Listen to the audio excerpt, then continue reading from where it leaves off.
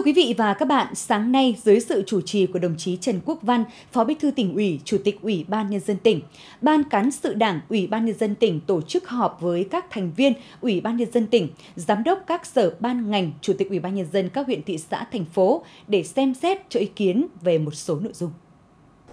Hội nghị đã xem xét cho ý kiến về việc ban hành quy chế công tác văn thư lưu trữ, phê duyệt kế hoạch tổ chức Đại hội Thể dục Thể thao tỉnh và cử đoàn tham dự Đại hội Thể dục Thể thao toàn quốc lần thứ 9.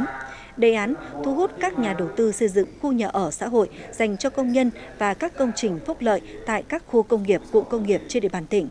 Đề xuất chủ trương đầu tư dự án nâng cấp mở rộng đường huyện 65, huyện Ân Thi, chủ trương đầu tư dự án xây dựng trạm bơm vùng bãi Phụng Công, Xuân Quan, huyện Văn Giang và xã Văn Đức, huyện Gia Lâm, thành phố Hà Nội cấp phép khai thác cát của công ty trách nhiệm hữu hạn thương mại Hà Tùng Lâm. Kết luận hội nghị, Chủ tịch Ủy ban nhân dân tỉnh Trần Quốc Văn cơ bản nhất trí với các đề án đề xuất của các sở ngành, đồng chí giao Chủ tịch Ủy ban nhân dân các huyện, thị xã, thành phố đẩy nhanh tiến độ quy hoạch sử dụng đất để thành lập các khu công nghiệp, cụm công nghiệp, trong đó có quy hoạch dự án nhà ở xã hội dành cho công nhân, yêu cầu các sở ban ngành và các địa phương tạo điều kiện thuận lợi để các doanh nghiệp khắc phục khó khăn, đẩy mạnh sản xuất kinh doanh.